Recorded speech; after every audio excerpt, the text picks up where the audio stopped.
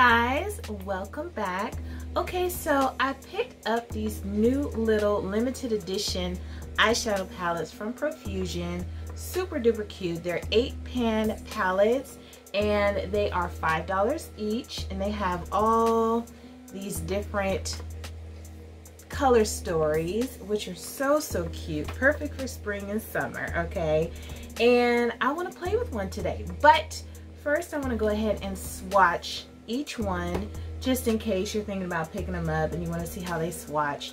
I'm going to swatch each one and then I'm going to pick one to use today. So let me just give you a look at what they look like. So this one is called Electric Blues. And as you can see, they do have the clear um, square here in the covering. When you open it up, it does have a little plastic film on top and it has like a screen print of a cassette case. So I guess they're trying to make it look like a little cassette, um, which is really cute. Well, let me go ahead and pull that off so we can look at these shades. Okay, so this is what the blue one looks like.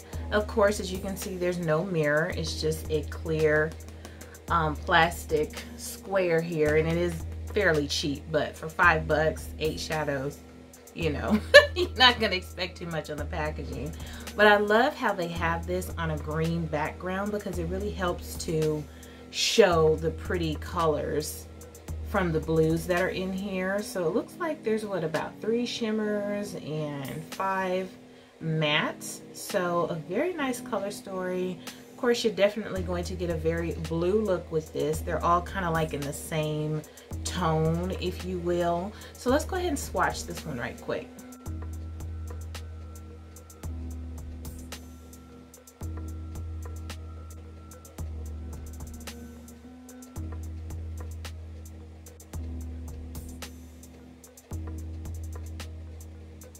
So these are all the shadows from the Electric Blues palette.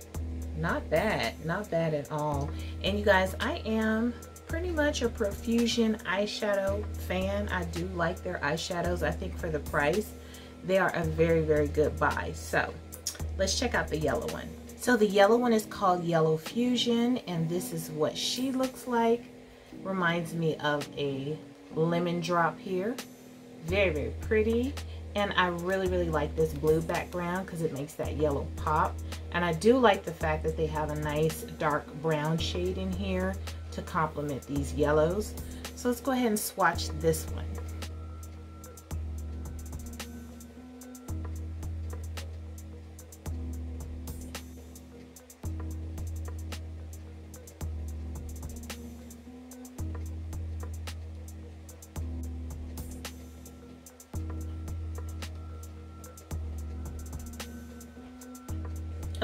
So this is the yellow palette. And as you can see, that darker brown shade is not as dark as I had hoped it would be.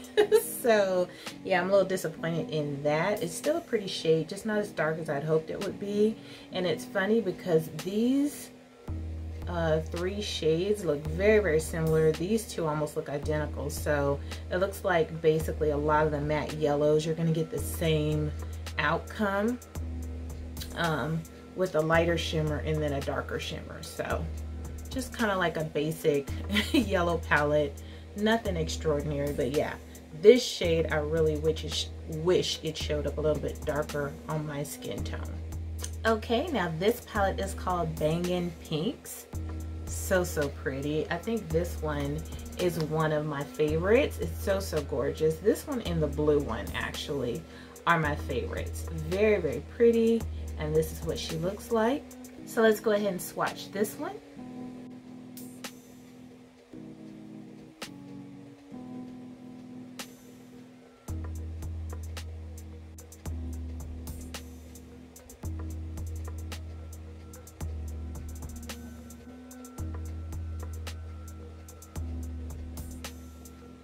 So these are the shades from the pink. Not extremely impressive to me. I mean, this one looks really, really bright and gorgeous.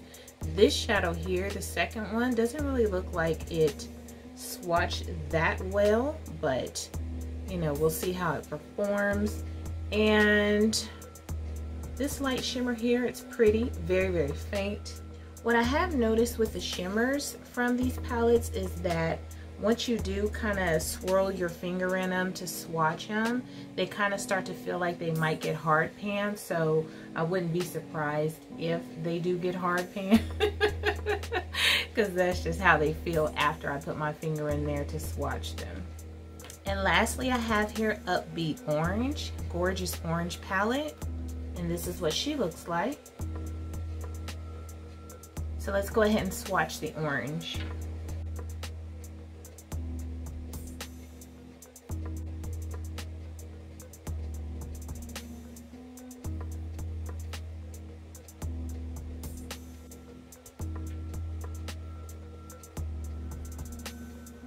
Okay, so this is the orange palette.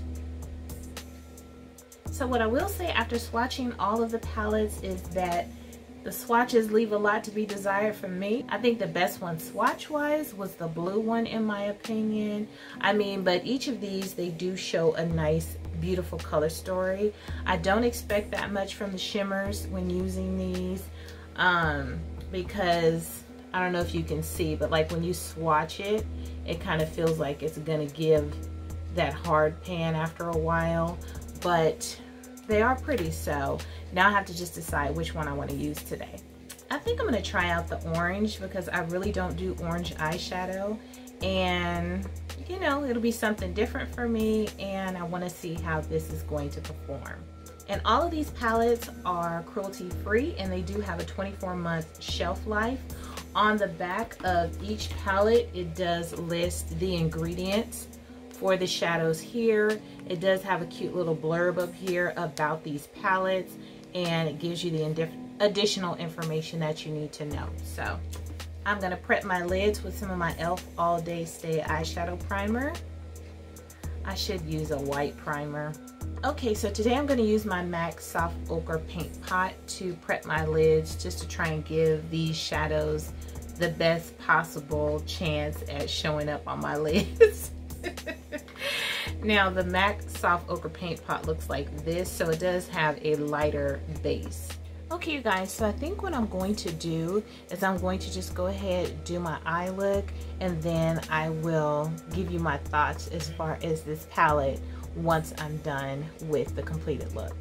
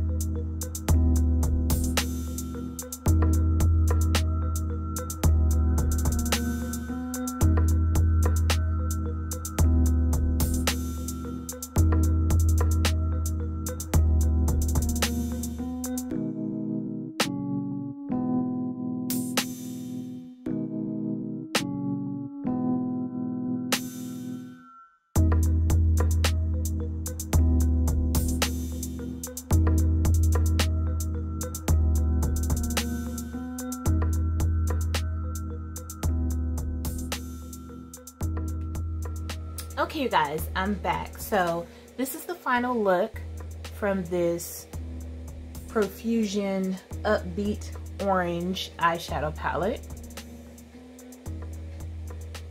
Now, what I will say, first impressions on this palette is I think it's probably about worth $5. Just being honest with you, I definitely think, okay, $5, that was a pretty decent price for this because while the shadows are buildable, you know, you can see the color there, the pigment is there, they are extremely dusty and crumbly when you use them. Now, when I was putting on these shades um, in my crease and blending out my outer corner, which I did use quite a few of the mattes. I used one, two, three, four. I used four mattes and I used both of the shimmers in here, which this is a shimmer and this is a shimmer, which is kind of hard for me to call this a shimmer because it really has no shim, okay? this one has some shim. This one doesn't have any shim to me, in my opinion, at all. So, yeah, I would say first impression, yeah, it was probably worth around $5. After using the e.l.f. palettes and experiencing the quality that I can get from a little four pan, $3 palette, very, very nice. This is a little bit disappointing. Um, and like I said, the reason is because the shadows are very, very dusty. Although they do build up and you can't get the pigment, it's to take a bit of building up to get the color, at least on my skin tone. And you guys know I did use a lighter base. I did use my MAC Soft Ochre Paint Pot for this palette. But, mm, yeah, there's just so many other options out there that are still affordable, that work a lot easier and a lot better. I really wouldn't suggest this palette. I haven't tried the ColourPop Orange You Glad palette, I think it's called, but I haven't tried that one. I'm kind of curious now to kind of compare this one to that one, even though with the ColourPop formula, I can pretty much guarantee it's better than this. okay, so yeah, just first impression, the shimmers aren't very shimmy, they're a little crumbly, and the mattes are very powdery. They are buildable, but I think with me using all the shades in this palette, even, you know, the two darker shades, this is pretty much all I can do with this palette. This look right here because I have the darkest colors in my outer corners. I have both shimmers on my lid and I have the orange in my crease. So this is basically the only look I could do with this palette. And while I do like it, I think it's very cute, very spring-like. Um, if you are on a budget and looking for, you know, a kind of cheap, affordable palette, I would kind of consider maybe going up to the ColourPop range, maybe even You Can Be or Delancey type range for, you know, just a better performing palette. Like I said, it's not a horrible palette. It's not bad or terrible. As you can see, you can create a nice look with it. But yeah, I definitely think this is worth $5, maybe even $4.99. anyways, that's my first impression on this palette. Now, I haven't used the other three palettes. I mean, who knows? They could perform better. I'm really hoping that the blue one does perform better because y'all know blue is my stilo and I'm kind of excited to check it out. So I might go ahead and check that one out next. But yeah, as far as these palettes, I think, you know, $5 is a fair price for eight shadows that perform like this. So that's just my first impression, y'all. oh, and I almost forgot these earrings are from my girl DJ's Unique Boutique. If you like them, check out her website. It is always linked in my description box. So yeah, super duper cute for spring and summer. So I felt like I'd go ahead and rock these with this orange look. So anyways, thank you guys so much for hanging out with me to try out one of these Profusion palettes and just kind of swatch them and see what's going on. And that's it for today. Thank you so much for hanging out and I will see you on the next one. Toodles!